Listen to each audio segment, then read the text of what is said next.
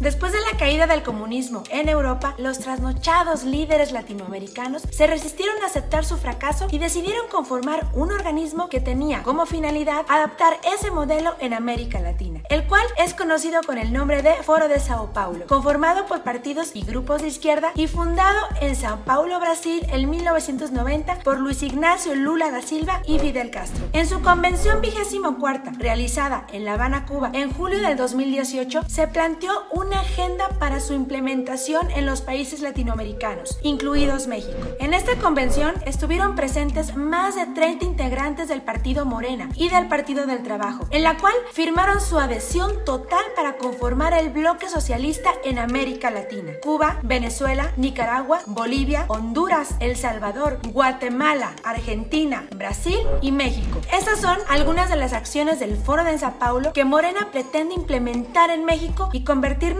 en un país socialista. Conformar una Guardia Nacional que ya está. Someter al poder legislativo y judicial bajo un solo poder se está intentando. Reformas para manejar a discreción el presupuesto ya se intentó y no quitan el dedo del renglón. Implementar la agenda de género ya está en marcha. Desmitificar las religiones introduciendo sectas esotéricas, cartilla moral y la fraternidad universal. Control de medios, propaganda para impulsar al líder. Implementar una agenda progresista, grandes proyectos como símbolo del poder comunista. Refinería Dos Bocas, Tren Maya y Aeropuerto Felipe Ángeles. Reformar la educación para el adoctrinamiento, la igualdad y la lucha de clases. Expandir el ejército de leales al partido. Estas son algunas de las acciones que ya estamos viviendo en México, lo que nos permite ver el claro intento de Morena por llevarnos al socialismo. La historia no miente, la mayoría de los países miembros del Foro de Sao Paulo están económicamente quebrados y envueltos en una miseria devastadora. El socialismo sí miente, promete a los pobres la igualdad económica, pero los conduce a una situación de profunda pobreza para mantenerlos con la esperanza de salir de ella y usarlos como base electoral para mantenerse en el poder. Los únicos que consiguen salir de la pobreza son los miembros de la cúpula del partido que se enriquece a costa de la destrucción del país. La desigualdad no es un asunto de pobreza, es un asunto de envidia que se usa como bandera para manipular a los pobres. De desigualdad nadie se